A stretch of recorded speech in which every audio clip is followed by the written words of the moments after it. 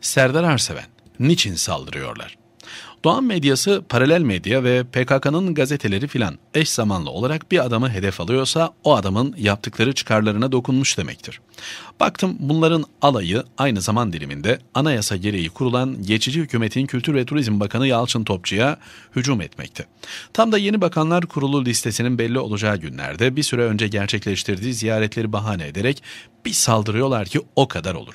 Sayın Bakan epeyce vakit önce Nevşehir'e gittiğinde Hacı Bektaş Veli Külliyesi ve türbesiyle Aşık Mahsuni Şerif'in kabrini ziyaret etmişti. Buralarda birlik ve beraberlik mesajları veren Sayın Bakan, Türk, Kürt, Alevi, Sünni el ele olursak kardeşliğimizi bozmalarına imkan vermemiş oluruz demişti. Sayın Topçu Nevşehir programı çerçevesinde Abdullah Çatlı'nın da mezarını ziyaret etmiş, Çatlı'nın yaşlı annesinin elini öpmüş, halini hatırını sormuştu. O günlerde üzerinde durulmayan bu ziyaretlerden bir kısmı şimdilerde saldırı malzemesi olarak kullanılmakta. Doğan medyası, paralelciler, PKK'lılar eş zamanlı olarak saldırıyor. Bu ülkenin bakanı nasıl olur da Abdullah Çatlı'nın mezarını ziyaret eder, anasının elini öper? Miş. Sayın Topçu'nun yeni kabinede yer almamasını telkin eden nice gönderme. Dikkatlerinize arz ederim. Abdullah Çatlı'nın mezarını ziyaret ettiği, anasının elini öptüğü günlerde değil de, Sayın Davutoğlu'nun hükümeti kurma görevini külliyeden almasından hemen önce ve eş zamanlı olarak başlattılar saldırıyı. Mesele çatlı meselesi değil elbette.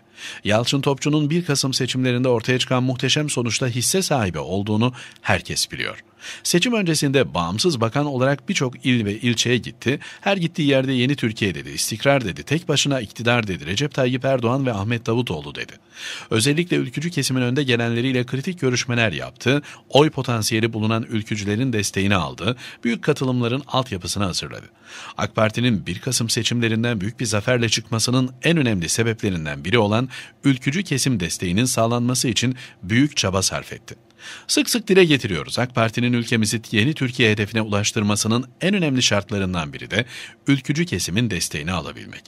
Bu destekte ancak geçmişiyle bugünü arasında tutarsızlık olmayan, kire pasa bulaşmamış, çarşıda pazarda mescitte kahvede vatandaşla beraber olabilen, toprak kokusunu kaybetmemiş, düzgün öncülerin katkısıyla alınabilir. Sayın Topçu çizgisi net bir adam. Bir gün iyi dediğine bir başka gün kötü demiyor ya da tam tersini yapmıyor. Dünya menfaati için takla atan bel kıvıran tiplerden değil. Talebi yok, icraatı var. Böyle adamların sözleri, kanaatleri önem taşır. Yerli ve milli bir bakan hem de kültür gibi hayati önemdeki bir alanın başına getirilmiş, ülkücü oyların AK Parti'ye yönelmesinde büyük hisse sahibi olmuş. Doğan medyasıyla paralel PKK medyasının böyle bir adama saldırı için bahane aramasından daha tabii ne olabilir ki? Böyle bir adamın kültür bakanı olarak devam etmemesini istemelerinden daha tabii ne olabilir? Çatlı'nın mezarını ve annesini ziyaret meselesine gelince, Abdullah Çatlı'nın annesi yaşı hayli ilerlemiş türlü sağlık problemi bulunan bir nine.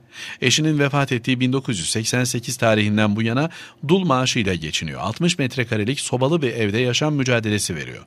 Bakan Topçu gitmiş ve elini öpmüş, Abdullah Çatlı'nın mezarı başında dua etmiş. Ne var bunda? Diyelim ki hakkında suç isnatları bulunan arkadaşlarınızdan biri vefat etti. Mezarına gitmez misiniz? Yaşlı annesinin halini hatırını sormaz mısınız?